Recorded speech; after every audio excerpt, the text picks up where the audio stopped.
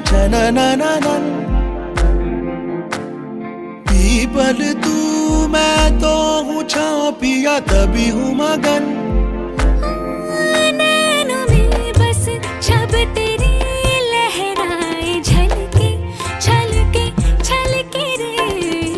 से हल के हल के अपने ही रंग में।